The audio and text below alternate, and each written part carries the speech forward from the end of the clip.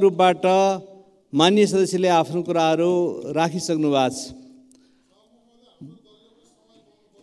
मैले समय दिएको मान्य सदस्य प्रमुख प्रतिपक्षी दलको प्रमुख सचेतक पनि हुनुहुन्छ। उहाँले आफ्नो कुरा राखिसक्नु भएको छ।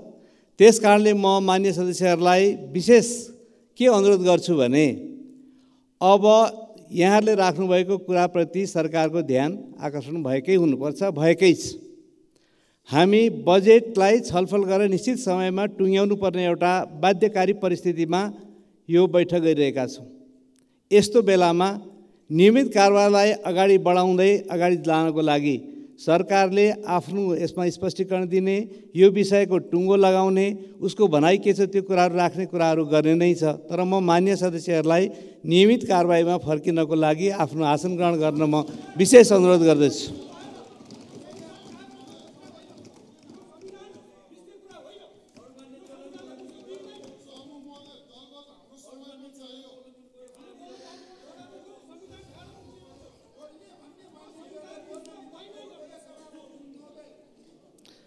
मान्य सदस्यहरू अब हामी विषयमा छलफलहरू गर्ने वातावरणहरू बनाउँदै अगाडि बढौँ।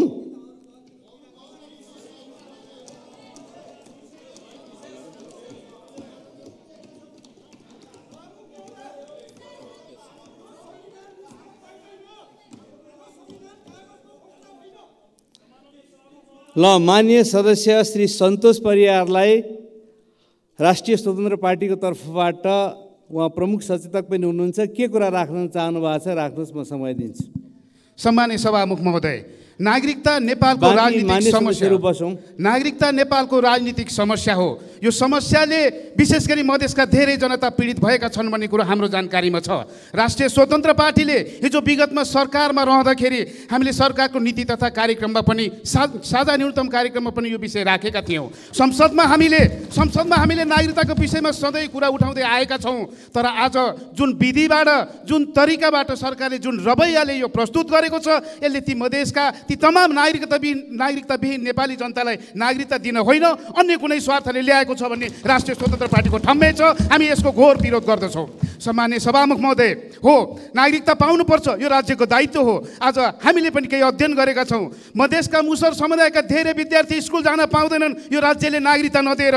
उनीहरूले पोषण भत्ता समेत पाएका छैनन् नागरिकता नहुँदाखेरि ब्याङ्कमा खाता खोल्न सकेको छैन। राज्यले आफ्नो दायित्वबाट विमुख हुने हिजो लामो समयसम्म राजनीति गरिरहेका राजनीतिक पार्टीहरू आफ्नो दायित्वबाट पर जाने अनि यो सार्वभौम संसदमा आएको यो व्यथिति विरुद्ध आएको राष्ट्रिय स्वतन्त्र पार्टीले यो यो कर्मको हामी भारी बोक्ने छैनौँ हाम्रो यसको समर्थन छैन।